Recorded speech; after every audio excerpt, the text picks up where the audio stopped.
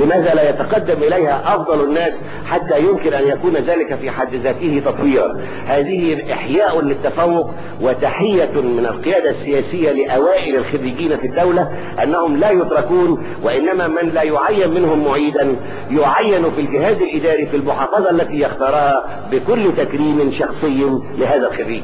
الأمر الثاني أنه بعض زملائنا أثاروا يعني موضوعين موضوع الدرجات الخالية وإن الوزارة أخذت الدرجات الخالية وإن عندنا 480 ألف درجة خالية ولو سيبناهم كانت الدنيا غرقت وبقى خير كله. أنا عايز أقول للسادة الأعضاء إن اولا الدرجات الخالية دي ليست درجات بداية تعيين هذه درجات ترقيات. يعني ما تنفعش حد يتعين عليه دي درجات حدود أدنى للتعيين. حدود ادنى للتعيين. ثم أنها هي حصيلة برنامج الإصلاح الإداري وأي مساسد بها ما كان يمكن أن نقوم بترقية العاملين بالحوافز بغير ذلك من سبل الإصلاح التي ليس المجال لها الأمر الثاني ما تحدث عنه بعض الزملاء من تعيين بدل معار وبدل مجند. وأنا أعلن أمام حضراتكم أن هذا الباب محظور محظور قانونا. لأن تعيين بدل معار عند عودة المعار يترتب عليه مباشرة إنشاء وظيفة للمعار أو للشخص الآخر وتضخم الجهاز الإداري بطريقة غير عادلة لأن الذي يعين بدل معار أو بدل مجند إنما هو بورقة وموافقة دون إعلان ودون امتحان وهذا أسلوب نفيناه.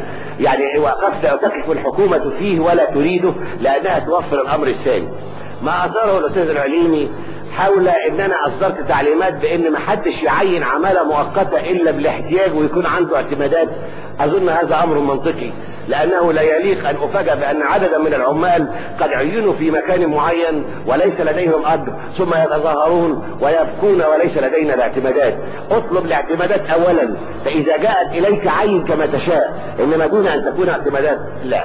الأمر الأخير اللي برضه أريد أعمله وأعتذر لحضراتكم عن الإطالة هو ما أثير حول خفض سن المعاش. ما أثير حول خفض سن المعاش واعتبار هذا الموضوع موضوع يمكن أن يفك المشكلة. أريد أن أقول لحضراتكم أن الذين يخرجون للمعاش في الدولة في الجهاز الإداري لا يزيدون عن أربعين ألف واحد كل سنة ودول في وظائف عليا ما تدفعش لبداية التعيين. الأمر الثاني إن القانون الحالي بيسمح لكل واحد عنده 55 سنة وما عندوش 59 سنة يعني من 55 ل 59 إنه يتقدم بطلب للإحالة عن المعاش فياخد يتسوى معاشه ويضاف له سنتين أو المدة اللي فضله له أيهما أقل ولا يتقدم تقريبا إلا خمسة أو عشرة كل عام لهذا الموضوع.